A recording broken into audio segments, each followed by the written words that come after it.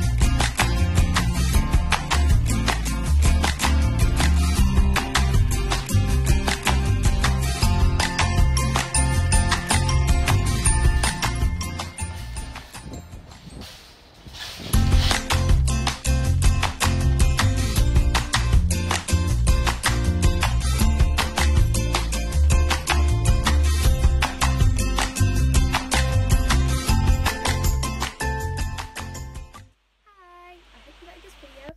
Don't forget to give it a thumbs up, subscribe if you're not already, and comment down below if you're a boater, what's the hardest thing you had to give up. So, and as well, I'll put all the links. I'll put the links to the removal people that we had, storage unit, and yeah. See you later. Bye.